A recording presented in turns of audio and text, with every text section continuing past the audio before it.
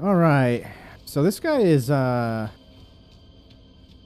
from what I understand, he can be painful. That's okay. So, I'm gonna do this. I'm gonna do this. That. Do that. That. Go in there.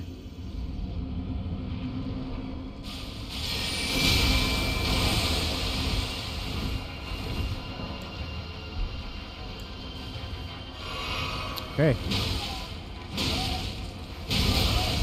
Let's just beat him. Beat him. Beat him.